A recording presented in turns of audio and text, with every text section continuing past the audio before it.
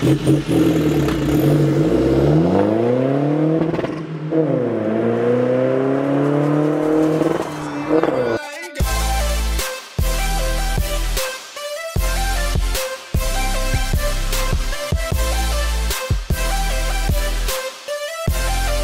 é que é pessoal? Sejam bem-vindos ao Speedrive, o meu nome é António, se és novo aqui no canal, carrega já no botão de subscrever e deixa o teu like neste vídeo, segue-me também nas redes sociais para estás a par das novidades que vêm aqui ao canal. Hoje estamos aqui com o Joel, está aqui à minha beira, que tem aqui um BMW 120D, um projeto que está, na minha opinião, perfeito. O carro está esteticamente muito bonito. O carro conta com cerca de 230 cavalos, não é? Exato. 230 cavalos, eh, só tens eletrónica e linha para já, não é? Um filtro. E o filtro. E eh, vamos agora dar uma volta aqui no carro. Vou passar agora as imagens para vocês verem, por isso já falamos. Até já.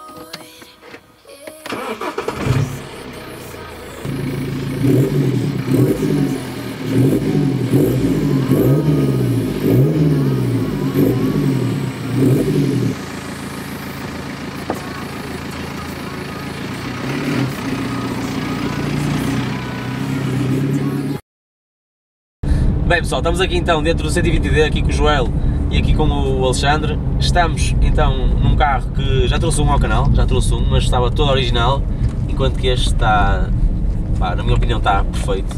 Este carro esteticamente está perfeito e eh, Joel, o que é que podes dizer aqui que o que é o carro tem eh, em termos estéticos, para já estéticos que ele tem?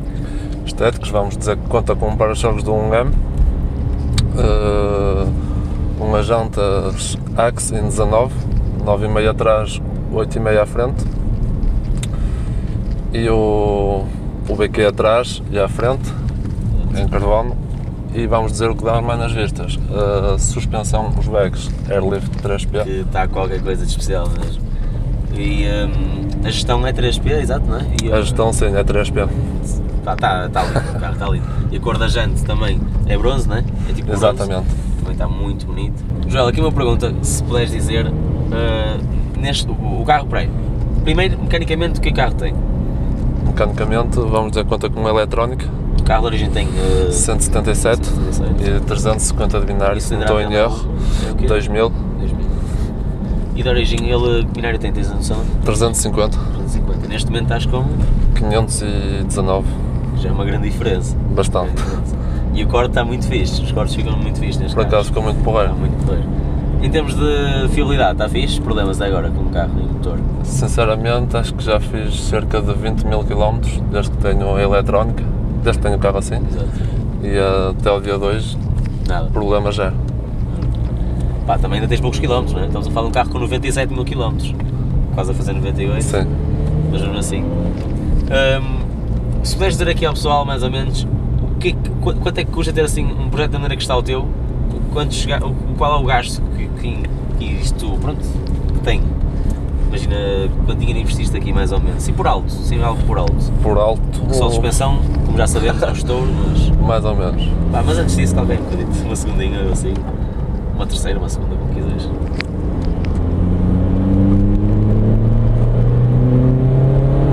Rápido.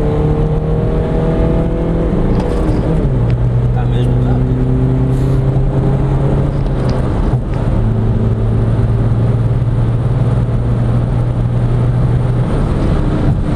E uma coisa que se pode notar logo, que se nota mesmo logo, é que o carro está hum, mesmo confortável com esta suspensão, não é?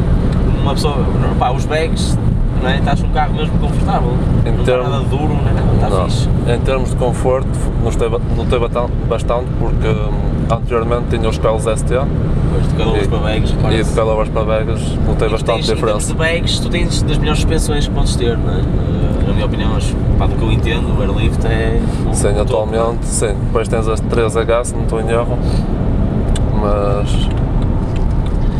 voltando àquela questão que eu estava a fazer há pouco, eh, em termos de, gastos, quanto é que achas que tens assim investido aqui, mais ou menos, assim por alto? Por alto, vamos dizer que já posso contar com 10 mil euros à vontade. 10 mil?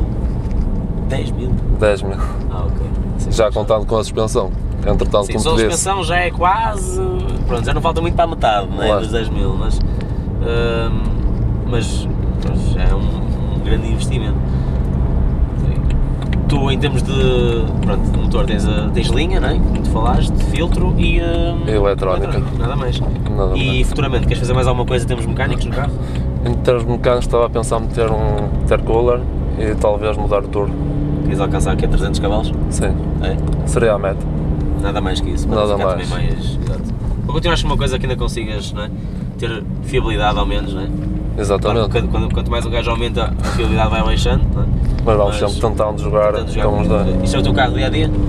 Não, vamos dizer que é que é o fim de semana. Fim de semana. Ok. E é um carro que em termos de consumos é económico, não é? Se andar sempre no par e arranca, vamos dizer que ainda consome uh, um bocadito, mas quando pego no carro, vamos dizer que disse é carro de fim de semana, pá, não ligo muito aos consumos. Não, o carro, sinceramente, opá, mas mesmo assim consegues fazer umas boas médias, não? Sim, sim. Tu em termos de, de eventos e isso, tencionas ir a eventos de distância, essas cenas? Ou... Agora tenciono ir, sim. Depois também tens o carro, exato, não mencionamos isso, tens o carro há cerca de quanto tempo que está? Há uma com- semana que está com bags. Uma semana, tens inspeção lá, por isso, claro que ainda não tinhas ido Pouquíssimo aí tempo. nenhum, claro. Mas agora, tencionas ir futuramente? Sim, futuramente sim. Acho que em agosto, se não estou em erro. Eu acho que o teu carro tem tudo entrar, na Summer. minha opinião. Ah, sim, tens o Summer, exatamente. Summer. O Summer, há muitos eventos, opá, e o carro entra, né? fácil, né? está qualquer coisa. Opá, eu adoro a frente do carro, acho que está, ficou espetacular, né? está mesmo espetacular. Encaixam aqui na perfeição também. Sinceramente, é um 120D, até agora que vi assim, mais bonito. O, o meu carro, eleição. Tentei fazê-lo, vamos dizer, o mais simples possível, porque não adianta estar a fazer. Sim, simples vamos e bonito. Pá, Exatamente. e tens aqui isso mesmo, está está espetacular o carro, sem dúvida, sem dúvida alguma.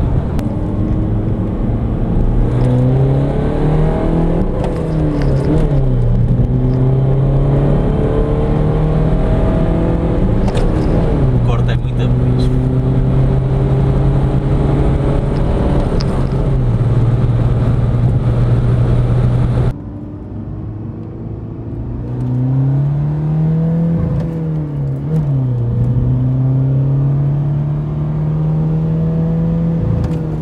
O corte é muito fixe.